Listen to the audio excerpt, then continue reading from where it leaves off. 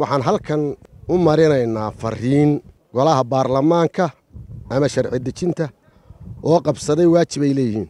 Aad iyo aad baannu u taageersannahay arrinkii siday u dhigeen ee ay isugu sidkeen labadii doorasho. Saaka halkan waxaan isugu nimi inaannu taageero buuxda siino golihii wakiilada ee dalka badbaadiyey ee ka saaray xurguftii siyaasadeed ee dhibaatada weyni ka taagnayd ama ku soo socotay waannu hambalyaynaynaa guurtida waxaa la gudboon inay ku waafaqdo xeerkaa wax laga beddeley ee danta ummadda lagu tiiriyey ee mudaharaadadii iyo cunfigii waddanka ka jiray lagu badbaadinayo. Waxaan doonayaa madaxweynaha iyo hadday golaha guurtada tahay in waajibaadka somalilan inaga saaran uu yahay inaannu madaxweynaha gacantiisa waddanku aanu ku dumin. Golaha guurtada waxaa laga rabaa xeerkaa iyaguna inay ansixiyaan.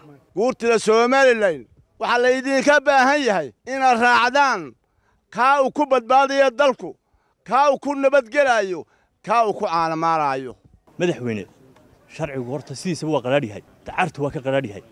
Maanta sharcigii aad ku adkaysanaysa hortaaduu yaallaa sharciga maanta dee maaha sharcigu saad jeceshay madaxweyne maaha sharcigu waxa weeye gari laba ninka mooda qosliso maanta haddii sidii adigu aad rabtay aanu ahayn sharciga hortaada yaallaa oo maslaxadii dalku ay ku jirto si wanaagsan u baaskarayo sharciga ansix annaga qoladaya dhaqankii waxaanu dhahaa labada hawleed kee horreeyey un dhahaa. Waxaanu jeclayn hawshii siday u kala horraysay madaxweynaad u waddo oo dee taadaa horraysaad horraysiiso. Haddiise rag waxaa la yidhi wax rag ogiyo ma qarmuuno ay rag yidhaahdaan waa la isku daraya.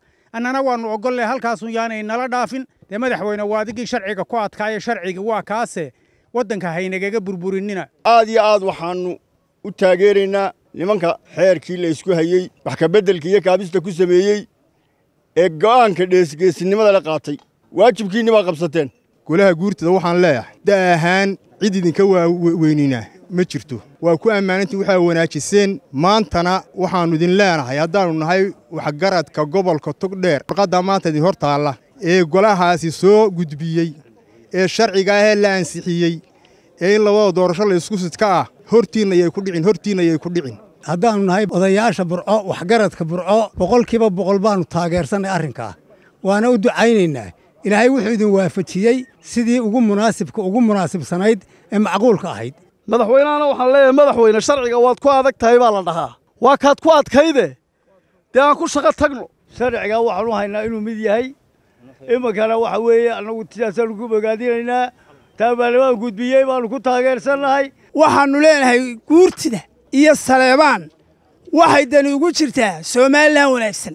Guurtida somalilan idinkaa maanta gacanta ku haya baasha guurtiyey sidii aad ka yeeshaan arrinkaa waannu eegaynaa. Madaxweyneha waxaan leeyahay madaxweyne in badan baad lahayd sharciga sharciga sharciga. Arrinkii maanta sharciga abuu sharcigu taagan yahe fallaadh gilgilisho kaagama harsee sharciga waa lagula joogaaye sharciga qaado baanu kugu baaqaynaa. Golaha guurtida waxaan leeyahay maanta oo aan da'i idiin hadhin idinka fili maayo saleebaanoo kaa fili maayo golahaaga in ay wixii ugu dambeeyey iskugu timi aad ceeb kaaga timaaddo kaa fili maayo xaasha. Hay'adihii sharci dejinta halkaas waxay keeneen in ay sasaaraan golaha guurtidana khayr baanu ka rajaynaynaa taariikh wanaagsan oo ay ka tagaan baanu rajaynaynaa. Madaxweyne waxaanu ku leenahay sharciga ku soo dabaalo waddanka waxaannu idinka baarnay maanta inaad badbaadisaan waddanka iyo somalilan. Haddaad tihiin guurtida nimanka baarlamaanka waajibkoodii bay qaateen. Madaxweynena waxaan leehay dee sharcigu ma aha mid maalinba jeebka lagala soo baxee? Sharcigii dalka loo dhigay bay mareen. Kuwa dambena way mari doonaan. Adigana khaatuma la'aan yee kugu sahayan